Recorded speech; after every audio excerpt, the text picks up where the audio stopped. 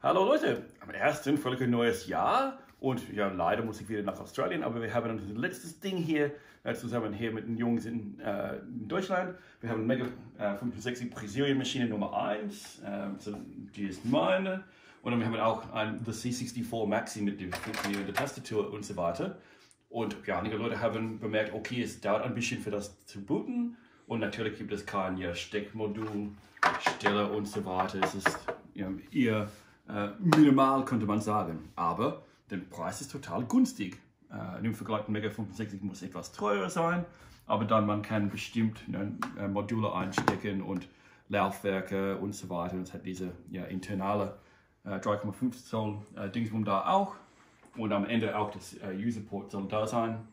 Aber wir denken, dass wir können äh, ganz kurz äh, den Vergleich von der Bootzeit von diesen beiden Maschinen äh, anzeigen. Das ist emulieren mit einem äh, ARM-Prozessor und Linux drin hier und es ist ja, echte Mega 65 per FPGA hier.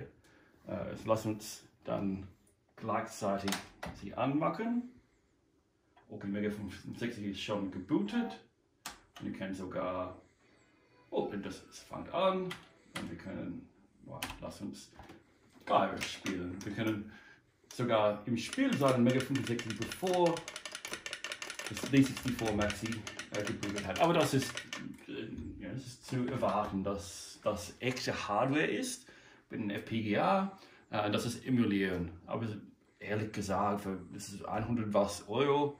Äh, es bootet eher schnell und es, ja, Tastatur und so weiter ist, ist es für den Preis total okay. Es ist, liegt äh, total vergleichen mit einer mechanischen äh, Tastatur, aber es ist doch günstig. So ja, es freut uns sehr, dass you know, 2020 wir haben diese verschiedenen Maschinen, äh, you know, die schon auf dem Markt und wir hoffen, dass Mega 65 äh, ja, so schnell wie möglich auch auf den Markt zu bringen, dass alle Leute können so viel 8-Bit Spaß machen, ja, dass es ein ganzes Jahr ausreicht. Okay, tschüss und bis zum nächsten Mal.